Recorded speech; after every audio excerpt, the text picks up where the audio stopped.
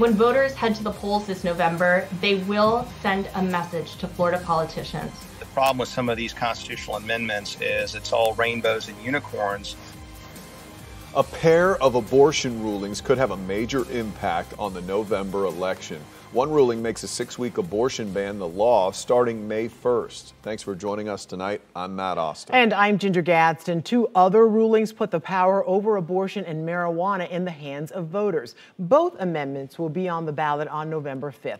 Amendment 4 makes abortion a constitutional right up to viability of the fetus. Amendment 3 would legalize recreational marijuana for everyone 21 and up without a doctor's prescription. Both would need at least 60% of the vote to pass. News 6's Treasure Roberts is here now. And Treasure, let's start with the reaction to the abortion rulings. Yeah, Matt Ginger, this big decision will give the power over abortion rights back to voters come November. But for now, restrictions on abortion in Florida just got tougher.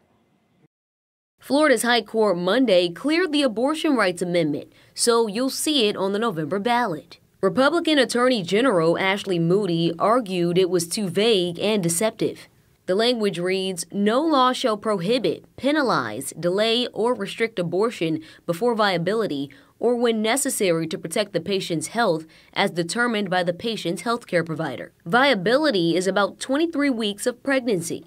News 6 political analyst Jim Clark says the court's ruling was surprising. I think a lot of people thought the Supreme Court, being as conservative as it was, would look for a way to kick it off the ballot. Florida House Speaker Paul Renner says Floridians need to vote it down. It is extreme in its focus. It would be one of the most extreme uh, laws in the in the country as well as around the world should it pass. The past has shown that the legislature tries to come up with ways to stop things they don't like.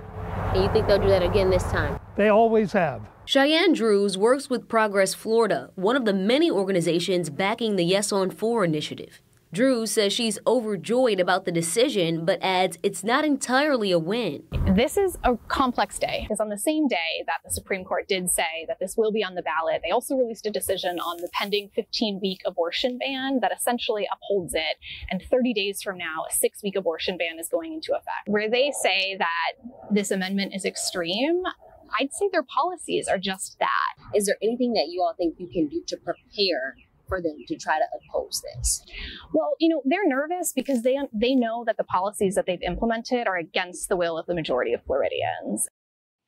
This amendment would cancel out the six week abortion ban if passed in November. But in order to do that, it needs 60% of the votes. Yeah, and 16% is a tall hill to climb. So obviously, advocates are biased if you ask them these kind of questions. But do they think this amendment will actually pass in November? Yeah, so we just heard from Cheyenne Drews. She helped collect the petitions for this ballot initiative, and she says they got over 1 million signatures, which wow. is more than they even needed. So she says when people are inspired, they show up to vote. So she's more excited than anything, and she feels like a lot of people are going to come out. a fall. million signatures sounds like a lot of inspiration. A lot. For sure. All yeah. right. Treasure Roberts, thank you. thank you. Recreational marijuana will also be on the November ballot. Florida's Attorney General claimed it covered more than one subject, which would be a violation of the rules. But justices say the issues in the amendment are directly related. If passed in November, marijuana could be sold to anyone 21 and over without a doctor's prescription.